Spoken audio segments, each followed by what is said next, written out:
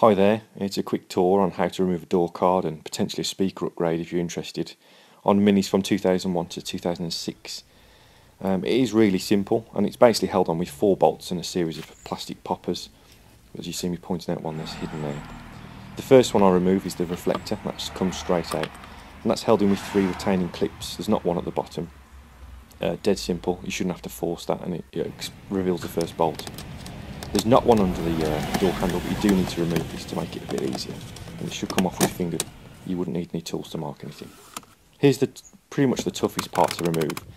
The uh, armrest, or the arm cover there, has got a clip on the left hand side just below my thumb. And basically you need to push that in and then slide the whole unit left. And hopefully that will reveal the last bolt that's underneath.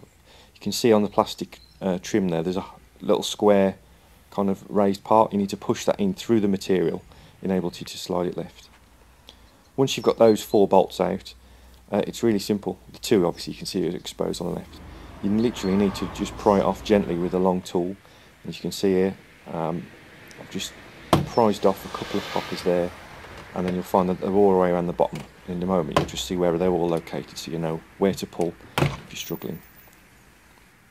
Now you'll see that um, I'm just removing it from the top and these clips along the top edge um, where the window is are really firm but they are very well placed and to replace the panel after and put it back in position you just need to tap along there and they'll clip in nice and uh, neatly. They're really well uh, designed. You see here I'm just pointing out exactly where all those poppers are and nothing broke in the process. You'll see a cable hanging there. That was connected to the panel itself. It was a courtesy floor light when the door opened. Um, super simple to remove. Here's the speaker, there's four normal screws that hold that in place.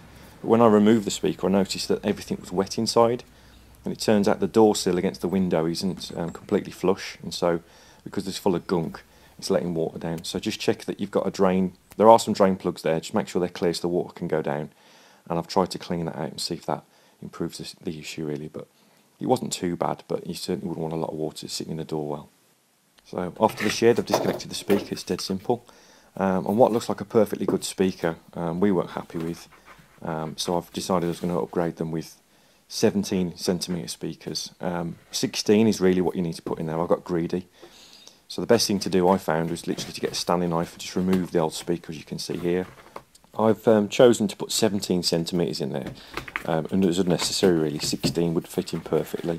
Uh, I had to do a little bit of work as you're going to see in a moment if you do find yourself in the same situation but to be honest 16 fits in, I can't see there'd be any difference in sound quality. And um, after changing the head unit and the speakers the, the difference from stock has been considerable really, it's well worth it for about £150 with the head unit change.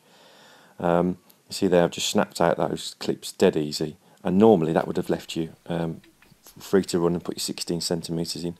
But I had to um, get a jigsaw with a very thin blade or a Dremel or something like that. Uh, or you could possibly file it out with a rasp and literally run round and open up the um, plastic uh, trim, you'll see now what I'm trying to explain. It wouldn't fit flush or entirely flush, which I wasn't happy with. Um, you could have probably got away with that, but it wouldn't have sealed the speaker to the door. Um, so instead, I just ran around, took all of a minute uh, to take away that bit of trim. And that was enough then to get that speaker to sit in flush. Um, and I've used some double-sided foam, which for like registration plates and things like that, um, to seal the speaker as well so it's a, a, decent run around the edge.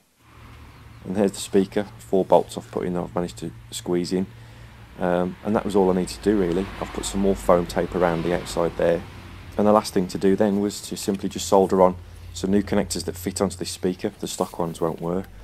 The whole job was kind of 30 minutes really on each door.